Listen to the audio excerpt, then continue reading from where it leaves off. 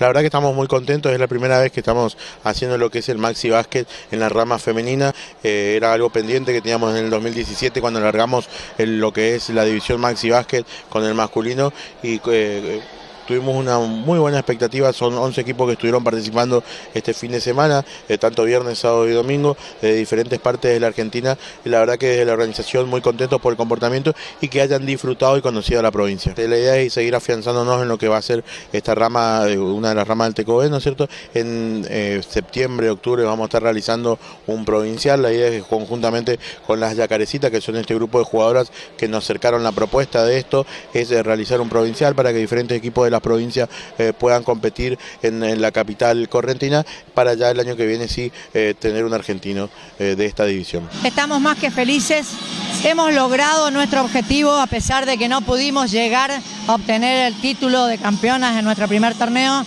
pero sabíamos de la dificultad que podíamos llegar a tener ante semejante equipo de Capital Federal, de las campeonas actuales.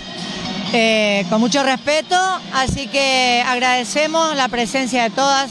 Fue magnífico el torneo en todo sentido, en el, inicio, en, el transcurso del torneo, en la finalización del mismo, la fiesta de anoche que fue fabulosa, todo el mundo se quedó, nadie se quería ir, porque fue realmente una, una sorpresa tremenda para ella, porque estas cosas no se ven en otros torneos. Sí, podés ver una fiesta a la cual vos tenés que acceder pagando entre 500 y 600 pesos. Acá fue todo gratis, todo invitación, sorteo. No, impresionante, las chicas no tienen palabras para agradecer la organización que tuvimos. Y todo esto, vuelvo a repetir, es gracias al apoyo del gobierno, que nos ha dado el, el sí rotundo para acompañarnos a realizar el torneo argentino en el 2020. El Maxi Básquet estaba, estaba desaparecido.